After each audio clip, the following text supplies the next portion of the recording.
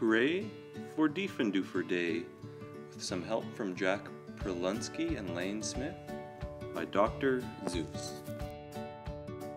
I've always lived in Dinkerville. My friends all live here too. We go to Diffendoofer School. We're happy that we do. Our school is at the corner of Dinkerzuber and Dinkerzot. It looks like any other school, but we suspect it's not. I think we're learning a lot of things not taught at other schools. Our teachers are remarkable, they make up their own rules. Miss Bobble teaches listening, Miss Wobble teaches smelling, Miss Fribble teaches laughing, and Miss Quibble teaches yelling.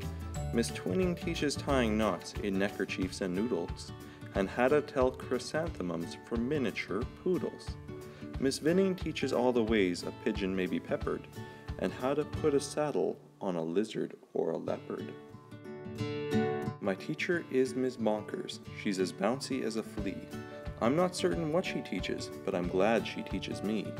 Look, look, she chirps, I'll show you how to tell a cactus from a cow, and then I shall instruct you why a hippo cannot fly. She even teaches frogs to dance and pigs to put on underpants. One day she taught a duck to sing. Miss Bonkers teaches everything.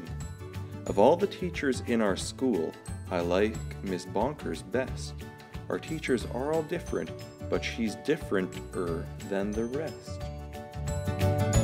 We also have a principal. His name is Mr. Lowe. He is the very saddest man that any of us know. He mumbles, Are they learning this and that and such and such? His face is wrinkled as a prune from worrying so much. He breaks a lot of pencil points from pushing down too hard, and many dogs start barking as he mopes around the yard. We think he wears false eyebrows. In fact, we're sure it's so. We've heard he takes them off at night. I guess we'll never know. But we know he likes Miss Bonkers. He treats her like a queen. He's always there to watch her when she's on the trampoline. There are many other people who make Diffendoofer run. They are utterly amazing. I love every single one. Our nurse, Miss Clot, knows what to do when we've got sniffles or the flu. One day I had a splinter, so she bandaged me from head to toe. Mr. Plunger, our custodian, has fashioned a machine, a super zuper flooper do. It keeps the whole school clean. Our music teacher, Mrs. Fox, makes bagpipes out of straws and socks. Our art instructor, Mr. Bees, paints pictures by hanging by his knees. In science class with Mr. Katz, we're learning to build robot rats. In gym, we watch as Mr. Bear hoists elephants into the air. Ms. Loon is our librarian. She hides behind the shelves and often cries out, Louder! when we're reading to ourselves. We have three cooks, all named Mr. Munch, who merrily prepare our lunch. They make us hot dogs, beans, and fries, plus things we do not recognize. And as they cook, they sing their song, not too short and not too long. Roast and toast and slice and dice. Cooking lunch is oh so nice. We were eating their concoctions, telling jokes and making noise, when Mr. Lowe appeared and howled, Attention, girls and boys! He began to fuss and fidget, scratch and mutter, sneeze and cough. He shook his head so hard we thought his eyebrows would come off. He wrung his hands, he cleared his throat, he shed a single tear, then sobbed, I've something to announce, and that is why I'm here. All schools for miles and miles around must take a special test to see who's learning such and such, to see which school's the best. If our small school does not do well, then it will be torn down, and you will have to go to school in dreary Flobbertown. Ah! Not Flobbertown! we shouted, and we shuddered at the name, for everyone in Flobbertown does everything the same. It's miserable in Flobbertown.